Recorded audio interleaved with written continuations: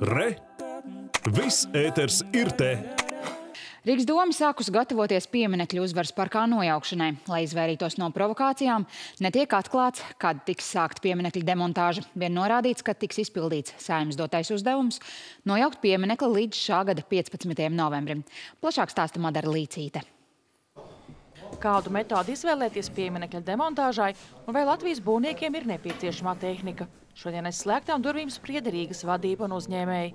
Ņemot vērā drošības situāciju un iespējamās provokācijas, pašvaldība neatklās būtiski informāciju saistībā ar pieminekļa nojaukšanu, tostarp plānotos termiņus un citu informāciju, kuras nonākšana atklātībā varētu kaitēt pieminekļa demontāžas procesam. Izskatām pilnīgi visus iespējamos scenārijus, ja, visdažādākos, gan tādus, kas ir izskanējuši, varbūt pat nav izskanējuši, bet šeit tiešām ir svarīgs sasniegt rezultātu. Cik izmaksās pieminekļa nojaukšana, pašlaik vēl esot pārāk runāt, jo sākotnēji jāizstrādā projekts un jāizsludina iepirkums par nojaukšanu.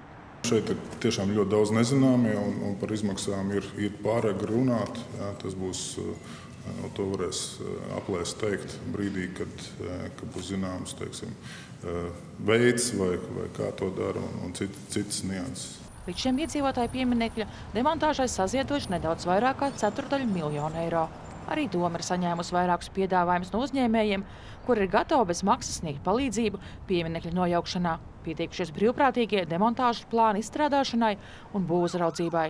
Saimai vēl jāpieņem likuma grozījumi, kas ļautu darbus veikt saīsinātā termiņā. Sākumā ir demontāžas projekts, izvēlētā tehnoloģija, tad ir iepirkuma procedūra, un tad mēs nonākam līdz šai summai, kas jau būs precīzāk zināma.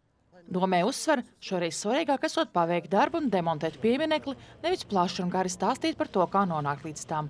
Madara Līdzīta, Arķoms Kačarjans, Latvijas televīzija.